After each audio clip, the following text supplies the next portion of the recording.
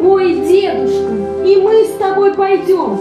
Еремушки росы мы принесем. В театральной студии Анастасия Туркина занимается 8 лет. Несмотря на свой недуг, девушка с радостью ходит на занятия и участвует во всех постановках. Актерскому мастерству вместе с ней учатся ребята особенные. У многих интеллектуальные и двигательные нарушения. Для них занятия в студии – возможность почувствовать себя такими же, как все.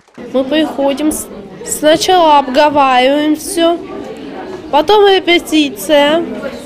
После репетиции обязательное чаепитие. Спектакль «Росинки для Еремушки» рассказывает о больном мальчике, который справляется со всеми трудностями и исцеляется. Все актеры в новой постановке – воспитанники клуба молодых инвалидов из Новокуйбышевска. Постановка сама по себе, в общем-то, особой сложности не вызывала, потому что это наши проблемы. И ребята практически играют сами себя.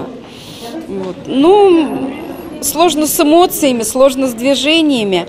А так, в общем и целом, мы справились.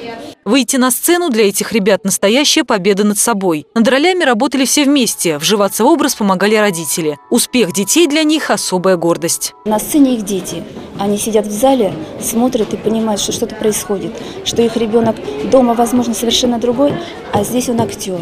Он играет. Даже если ему трудно говорить, значит, у него так подобрана роль, что ему не нужно говорить, нужно двигаться. Декорации для спектакля готовили ребята из Жигулевска. Также для актеров и зрителей они сделали по небольшому сувениру в виде цветка. Афиши и пригласительные билеты подготовила самарская организация «Парус надежды». Спектакль «Росинки для Еремушки» зрители смогут увидеть и на других площадках города и области. Лариса Шалафаст, Станислав Левин. События.